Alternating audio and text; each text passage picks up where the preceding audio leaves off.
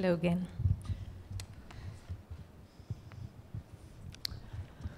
Were you tempted to call the movie The Silence? the Silence.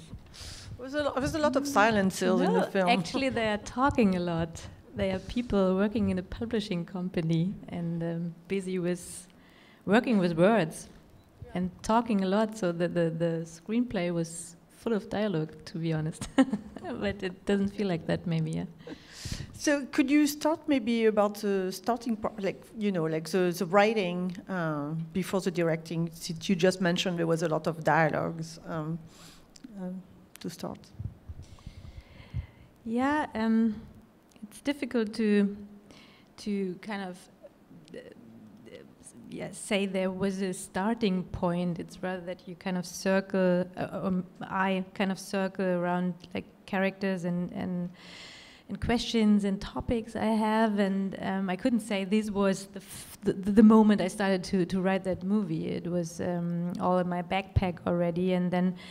Um, yeah, but but I think I, went to London Film School and did a screenwriting master's there, and um, and that was kind of the starting point. And um, all I had was the character, uh, Janne, and her boyfriend, like like every character um, except of Martin, and um, and the scene in front of the door.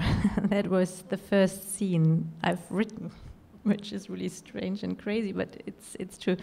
And um, and the, the, the the entire development was rather about those characters and rather in this uh, Rohmer um, way of portraying like a system of characters and how they interact and depend on each other. And it was not, um, yeah, it was was I think it was. It, it was rather about like the questions I had and the, and and, and the, the, like the entire field of self determination and the free will, which is uh, very. Very, much a topic for me than about um, anything else. And the rape scene, if you call it a rape scene, but I mean officially it's it's a rape scene, but she doesn't call it like that. Um, came into the script only in the second draft. So before that, it was about yeah the denial of failure, the denial of being a victim, those characters interacting with each other. But yeah, this this situation that is now so present in the film for so many um, people in the audience uh, was coming very late to the script. Uh, can you also talk about your collaboration with the actress who plays Janne? Like, yeah. when you were writing, did you you already knew her? No. Or, okay. No, so no. you were not writing for her. No, not and at then you you she, she's wonderful in yeah, the film, she's and, so and great. I it, love it. So it's it's it seems like a perfect collaboration. Yeah. But can you talk a little bit more about yeah. that? Yeah, I can. Um, so um, I, I met her through the very classic way of casting. Um, uh, the casting director uh, suggested her, and she came um, to the casting, and she was like the worst of all, really. because she's um, she's coming from the theater. She's uh, at uh, Burgtheater in Vienna, which is a well-known and quite famous theater in, in Europe, and um, she's used to to act in front of uh, like 1,400 people. So everything she she did was totally in her body and got a like a physical translation of what I what I was asking her to do. And so she was all over the place and just had so much energy. But I fell in love with her as a as a person because she she is so she's very very intelligent and very very intuitive at the same time. So I really had the feeling she understood what I was talking about and was really touched by the character and so I thought, okay, then I have this this person I really want to collaborate and I really uh, like and love and, and, and be fascinated by. And I have all this energy, and this story is about like controlling and hiding and, and, and function. So I, yeah, my task would be to to hide all this energy she brought um, to that casting and all this physics to kind of suppress it and um, and I think that is that yeah, that is some maybe some of the energy you could see on screen now that it's all there but kind of suppressed. And the other thing that helped a lot um, was that she's actually coming from theater, so she's used to not have this um, kind of uh, vision that she is working to and mm, I'm working the same way. I'm just coming to to uh, on set and she's coming to the rehearsal and then everything is going to explore and um, that's what we did. It's not that I had an idea of the scene, um, how it should be at the end of the day, but rather ruling is exploring the entire field, and, and, and everything we found was part of the truth, and everything we found was uh, something that was, um, yeah, interesting and touching, and we took all of it.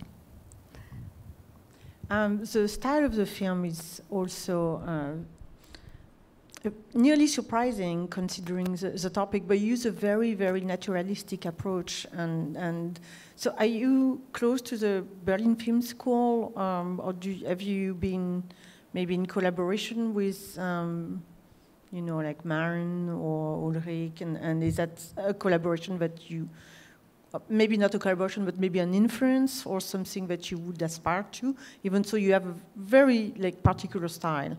Mm -hmm. Of course, I mean, um, I, I, I know and admire um, their films, and uh, Uli was a big. He was uh, he had a big influence on the movie. He was my mentor on the movie, so um, yeah, he was so yeah, he was so good and powerful for the movie. Um, he always told me, he always said that it was, this is the story that I always uh, used to tell, is that, um, how do you say this, uh, the, the, the, zip in the trouser? I guess, yeah. the trouser? Yeah. the, the, trouser zip. So uh, he always said, okay, we filmmakers have to um, take care of each other and we have to um, uh, say each other if the, the zip of the trouser oh, is okay. is open. When, you, when your zipper is open. Okay, yeah, yeah, when your zipper is open. You, you got me worried yeah.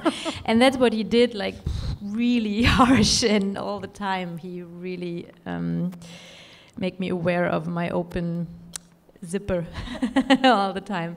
So he was uh, he was he was very important for the movie. But um, I never I never I never was thinking about doing a Berlin School movie or or something like that. I really. Um, for me, it was clear that if I have this topic and if I have, I mean, I never, I never planned to do a movie about a topic because I don't believe in, in subject movies at all. Um, but in the moment, I knew it was it was about all those characters and the different perspectives, and I wrote the script from every perspective once, so I came very close to each of the characters. For me, it was totally clear that I can't use any filmic means to kind of manipulate or push the story or, or stress something, and so it was clear for me that I won't use any music or um, really be yeah like be like I've, I always said we are kind of a, like the guest of of the characters and they they exist on their own and we can we can just get a glimpse and just can yeah um, be be their guest but they won't do anything for us and I won't push them in any direction. So, so for you, uh, you see her as a victim or like the way that she she's hiding what what's happening and she doesn't talk about it like or it's very like she tries to but she can't do it. So what do you what do you think of her as a victim not a victim? Like it obviously it's a problem for our survival and our mental state. Yeah i think for me it's it's both. Um, and that's uh, how I see the world somehow. Um, of course, she's a victim, but on the other hand, she's a, she's she's a perpetrator as well, and she's a very strong person who kind of um, uh, who who who claims that she can determine herself what harms her and what not, and um, she claims to not claims, but how do you say? Um, she she wants to to be in charge of um, her her own decisions and, and, and self-determination. So I think the, the, the fact that she she doesn't speak about it. It's not only that she's so traumatized and, and suppresses everything. It's a, it's a very it's a very conscious decision as well because she says, okay. I mean, she's she she's a she's a sophisticated modern young woman and she read the existentialists and she is working in this publishing company and she is not considering herself as the weak sex and she's she's kind of a nihilist. So she knows when man and woman end up in a boat's house together at the end of the evening, having drunk, having drink, have, have been drinking a lot, everything could happen. So and then and then this happens to her, and she doesn't consider herself as a victim or a rape victim, um, not even not even that, yeah, at least and um, and then and then she she she had that that experience and um, says, okay, I have I have the choice now. I can kind of go down that road with all this um, images and all this charged energy of being a rape victim in our society, or I can just focus on what I want to focus, which is the job and, and, and my relationship, and, and it's just one and a half minutes of bad sex, so who cares? and and so somehow this is a very yeah this is a very conscious and strong decision too and on this at the same time of course she is a victim and she suppresses something. So that's what i um, said that if you have questions and i can't give you an answer I, I, I don't have an answer because i think both is true. I love i love the, the ending of the film um, where clearly so many things are going into her head and she seems to refuse everything in her past. So can we maybe talk about this before we open it up to the public? Yeah, the ending is interesting because I mean, um, we did a lot of improvisation and I, I didn't expect the movie to be that close to the script as it now turns out to be. But the ending was different in the script and um, and I had um, yeah the, the, ending in the script was like the, the, the attempt to give some direction, and it was that the police people are coming and, and asking her for the first time, or not asking her, all good, and she says for the first time no, and then they let her go.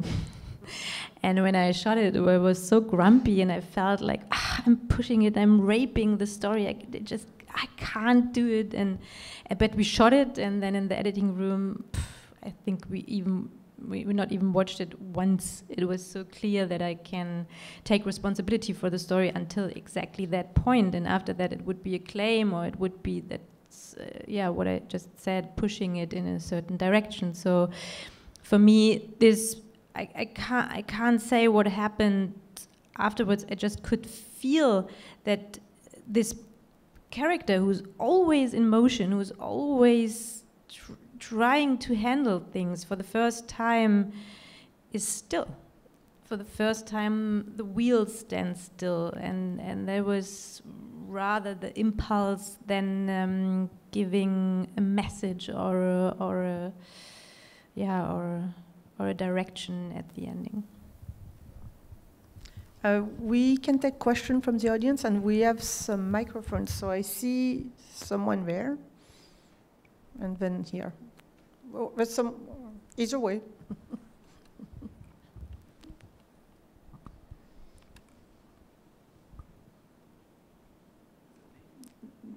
well, yeah, it, has a question.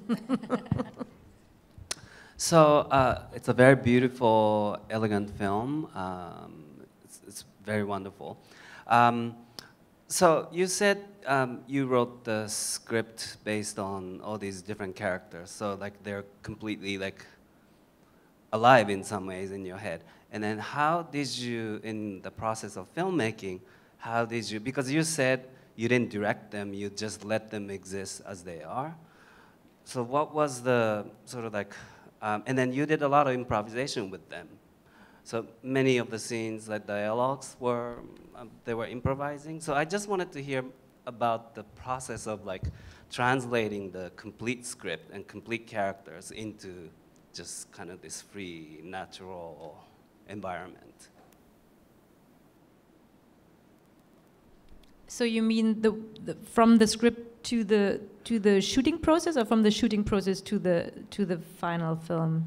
Uh, from the script to the shooting process, like Mhm. in, in terms of directing the actors. Yeah. Um, I mean, the, the, the, the script we had really uh, we had really problems funding it uh, in in Germany because the script was nobody nobody knew what it was about because the script was like a play. And for the act, uh, there was just bare bones dialogue. And for the actors, I even uh, um, get rid of all the directing stuff and every single paragraph of uh, um, other kind of yeah describing lines. So they just had the, the pure dialogue, and then um, and then what we did is um, we we were every take had a different attitude and a different aim for each character, and I spoke to them separately and then then um, they could kind of explore the scene on their own without knowing what what the other character would do or the other actor would do or would aim for in the scene, which made it like every take alive and they were curious and they had to really listen to each other and, and, and, and observe each other. Um, that that helped a lot. And when I felt that the scene was uh, like dead because we did it too much, for example, I, I always said, okay, you can use every every single other word that comes into your mind, and then we did, for example, like silent takes as well. Um, but I think the main thing was really to to give another attitude and temperature to each take, and then because I think I I really think you only can act one thing at the time. You can only feel one thing at the time. You can't feel a little bit excited but a little bit sad at the same time. But you can um, act it one like uh, after each other, and then and then that was that was what I what I just described the feel that I had this basket and put everything I found in that basket, and then I could I could um, mix it up in the editing. So the, the the scenes or the takes that you the, yeah the, the, the scenes that you see are, are a mixture out of all those different temperatures and and takes we've done. There's a question right there. Ju-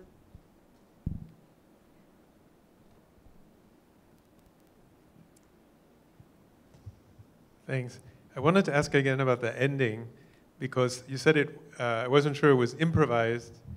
Um, this the character Martin gets into what may be an accident, what may be self-harm because of what happened before, and then Janne wants to get arrested um, or get in trouble, get get herself punished in some way, and at the same time, she's holding the people kind of hostage on the train, which is what was happening to her. And my, my question was, are you, uh, often trauma survivors, or when they avoid processing what happens, they enact something that, that shows what happened to other people. Um, so it's almost as if, I mean, she's not raping the people, but she's holding them against their will.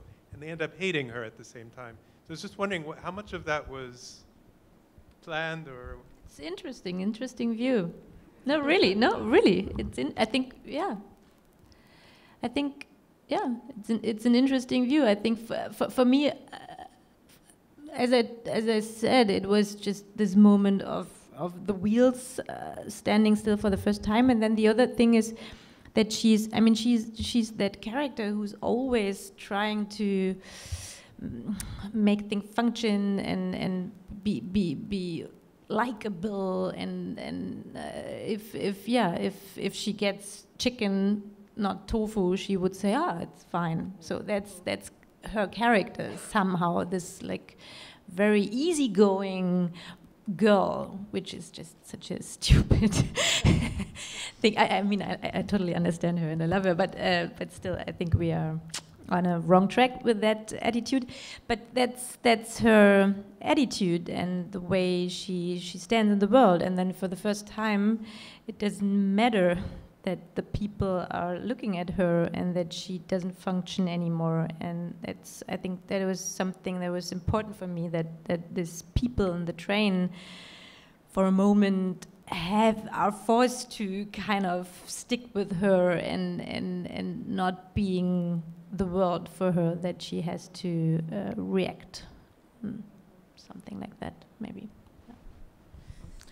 So there's a lady there I don't really want to beat a dead horse, but I uh, did want to comment on the ending. What you said was um, in the script, and then what you decided. We all knew throughout the entire film that it wasn't all good. So you didn't. Can you speak a little louder? We all knew throughout the entire film that it wasn't all good. When you mentioned the ending that you were thinking about versus the ending that you selected, it was the perfect ending. We didn't need for someone to ask her was it all good? And we didn't need for her to say no because she made it very clear in her um, uneasiness, her crying, her emotion, the abortion, whose kid is it? I mean, it was, she did a great job. But my question actually was, at what point in the drafts did you decide to put Martin in the ICU? because I already hated him from the beginning of the film, and I was happy. The the the, the um, his name was Martin. In the ICU, what is it? Huh? Intensive care. Yes, you put Martin in intensive care. So I'm curious at what point in the draft you did that because I was never going to like him. I don't care if he was in a car accident. I was actually happy. You, you should have just killed him right away. um, yeah, now I have to disappoint you because I like him a lot. I like all of them. um, otherwise, I couldn't tell about them. I just couldn't. If I hate someone, I'm, I'm just not interested in the evil. The evil is so boring and closed down and just they, they, I don't have any questions, and I, and I could I couldn't write and direct uh, uh, people who are who are not try at least to understand, and that's what I did, and I came very far, um, even with the character of Martin, and I totally understand that you that you that you don't have those feelings for him, and that you kind of uh, reject him from the very beginning. That's fine.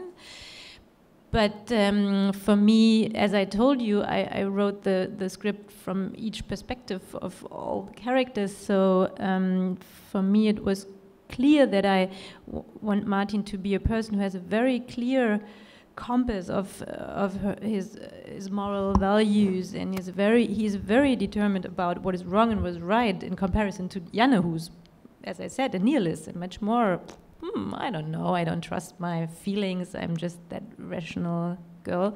So he's he's very kind of conservative in a way, and I was interesting interested in how does a character like like him really tries to integrate that what what happened into his self image somehow like a mirror for for Janne who's uh, trying to get the fact that she that she's been a victim into her self-image, he has to, yeah, handle this, and he really, for me, tries the hardest he can to do that. And um, people would say, "Oh, he's a wimp and he's a coward and he's like he's not a he, he could whatever go to the police." But if he would go to the police afterwards, it would be another assault because he would decide for her, and obviously she doesn't want to talk about it. So if he would decide for her, it would be yeah pushing her a second time. So yeah, this dilemma that he tries to do the best he can afterwards, but um, doesn't have any means was interesting for me. Was there any more question on the other side? There's a question here.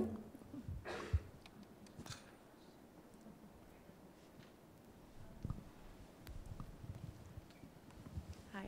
Um, so it's interesting you said that you're, when you were working with the actors, a lot of it was improvised. You would do different things on different takes and you didn't necessarily know what you were going to do before it happened. I'm curious did that reflect your directing style as well? Like, did you have certain shots you knew, like, you had to get, no matter what, you needed these three or four shots, or did you work very closely in terms of planning things, or was it just as improvised in terms of the camera? Um, so as we didn't didn't know how the scene um, is going to evolve, it it was it was kind of following the situation. But we had a concept. So, and the concept was that we wouldn't wouldn't um, shoot anyone like from the front, but uh, just yeah, just just observing them and being behind them and following them and not being, for example, in rooms before they enter the room. So we just we never knew more than they would, and. Um, so that was that that was a clear concept or rule that we set, and uh, that helped a lot to find the the kind of the the right attitude in terms of camera, um, and yeah, and but then I really have to admit, I mean, we, we had we had a we had a, sh shot list for, for each scene. Of course, we, we were very well prepared, but um, but then sometimes we were really surprised how a scene would uh, develop in which direction, and then and then everything we planned before was kind of uh, not true anymore. So every take was a different shot and a, and a different. Uh, so every every attitude, every temperature of a take needed another uh, temperature and energy of the camera work as well. And I was very happy to to have found uh, um, Julian Krubasik, who is very intuitive and just um, coming from the documentary, of course. Um, so he he could really adapt and like feel what what was needed. Uh, we have time for one or two more questions. I wanted to know if anyone else wanted to talk to Eva. If there's someone here. I was wondering, um, kind of um, towards the end of the film, I was feeling that there's another theme because both the Martin and his sister um, were aggressive to to the people that uh, you know possibly they cared about. And so I was wondering if there was any moment in the script development where you actually tried to sort of, um, you know, tell a little more about that, if, or if that even was something that you intended that, you know, it often happens that there is a, you know, a family background for people who are aggressive. Um, so when I started writing, Robert and Sissy were the main characters.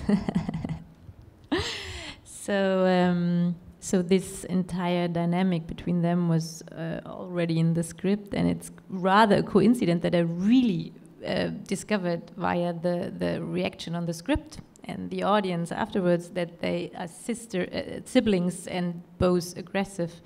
For me, it it wasn't um, it didn't it didn't play any role because for me every character in that in that story is tender it's uh, to a certain degree and aggressive and for me it's rather interesting um, in in all those uh, discussions with the with the audience that the the the, the physical aggressiveness is um, for example of uh, Piet as well. He's very choleric and impulsive. That this is pointed out that much and all the psycho, psycho, psych, psychological aggressiveness or like cynical aggressiveness and being detached to your feelings and to, to, to, to the people you are in relationship with, with is not that um, is not that stigmatized. Yeah.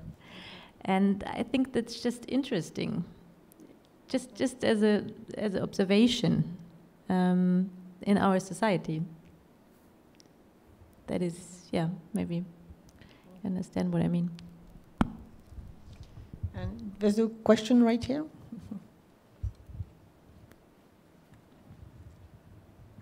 ah, thank you very much for the wonderful film.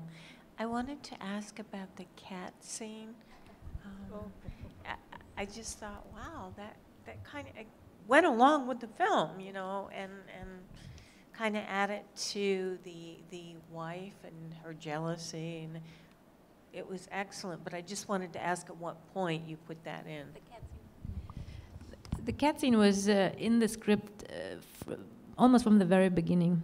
It was, uh, and it, it, it rather, it was, as I said, it was like rather this portrayal, Rohmer, whatever kind of cinema that I first planned. And um, if I would do the movie again, I would open it up for this a little bit more again. So this cat scene was just this, this longing to to to make movies and see movies where th- that are not too economical and not too much focusing on the plot and the theme and something that is um, that is the engine of the movie, but have this things that that are life in a certain way that happens at the same time. I mean, your your your mom is dying, and still your your kid is having whatever uh, a play at kindergarten and and then breaks his ankle or whatever so this simultaneously simultaneously of of things and um, was was always uh, important for me and the cat was like uh, yeah the first first uh, element of this um, simultaneously so that she's she just experienced a rape but the, the, the job is important as well and and then she's coming to that house but there is an entire life going on with that cat and with all the, these other problems. So like yeah putting it together and make it rich. Um, any further question?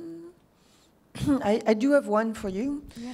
Um, I mean, the movie we uh, was in Locarno, so that's close to a year ago. So, are you working on anything new, or you still like touring with this film and talking about it, or like maybe trying to move for the next project? Uh, yeah, I do. I just um, I just uh, got the funding for, for my for my next project. So not shooting, but writing it. So, uh, so writing it first. yeah, okay. exactly. Mhm. So so I have a treatment and um, yeah, got the funding two months ago and started to write. And my my festival journey is somehow has come to an end with you guys. Well, you, the movie is showing again tomorrow night at Yeah. MoMA, and then it's going to be on Netflix. So it's not quite the end, but we're also very much looking forward to the next work from you Okay. already. Thank you So very much. Thank you so much. Thank you very much. Thank you.